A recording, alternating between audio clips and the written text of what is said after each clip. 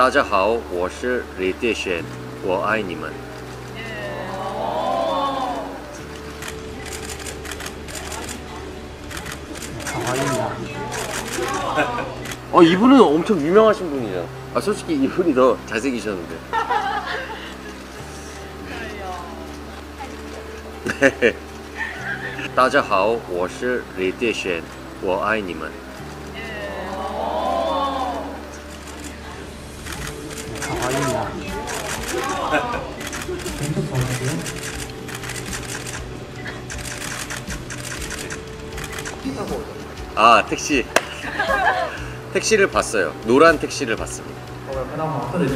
어, 보타니컬 가든데 이렇게 사람이 너무 많네. 누구 혹시 기다리세요? 택시 드라이버 나와주세요. 之前你有曾经来过台湾吗？ 제가 공식적으로는 이번이 처음인데